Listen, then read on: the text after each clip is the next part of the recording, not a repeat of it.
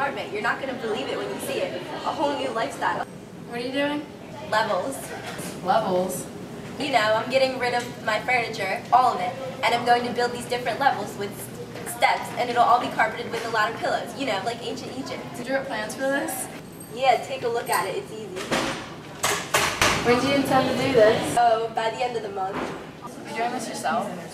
Yeah, it's easy. Why? You don't think I can do it? No, no, it's not that I don't think you can. I know that you can't. I'm positive that you can't I got the tools. I got the pillows. All I need is the lumber. I don't see it happening. This time, this time you're wrong. Come on, I'll even bet you. Seriously? Big dinner with dessert, but I've got till the end of the month. I'll give you a year. No, no, the end of the month. Bet.